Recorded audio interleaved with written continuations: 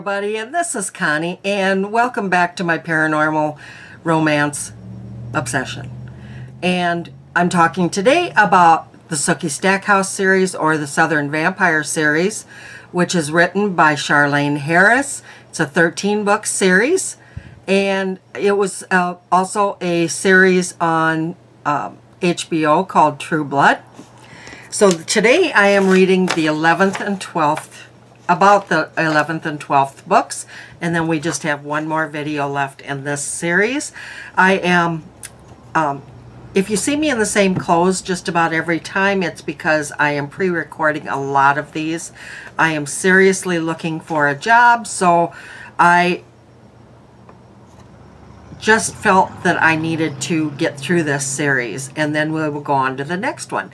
And give me your ideas on what you want to hear. Book 11 about. is Dead Reckoning. Still on the same theme. I love this. They this is this carried through the whole series. So, all right.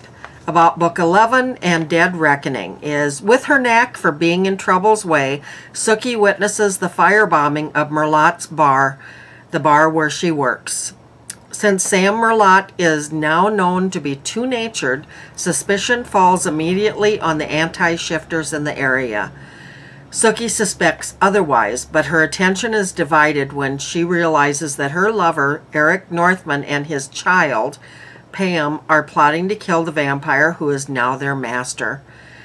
Gradually, Sookie is drawn into the plot, which is more complicated than she knows. All right, book 12 is Deadlocked. Okay. And Sookie has a murder investigation on her hands. A young girl has died at a vampire party, and it looks as though her lover, Eric, might be responsible. Eric swears he didn't do it, but the police don't believe him, and even Sookie isn't so sure. Not, nor is she inclined to take his word for it, not having caught him enjoying the victim's blood minutes before she was killed. But something strange is going on. Why had Sookie been asked to come to the fateful party a few minutes early? Just to catch Eric in the act? And why had the victim spiked her own blood before approaching Eric?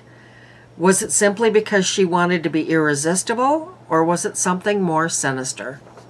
Sookie will have to find out, but the worst moment but it's the worst moment to investigate as her Fey family has been having troubles of their own and Sookie is inevitably drawn in.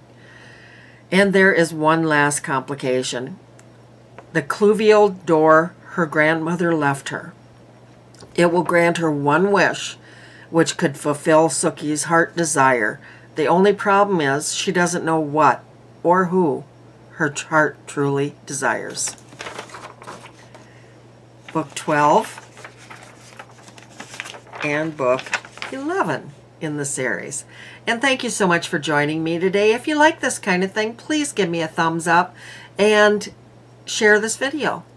Thank you so much. See you in my last installment of this series. Bye-bye.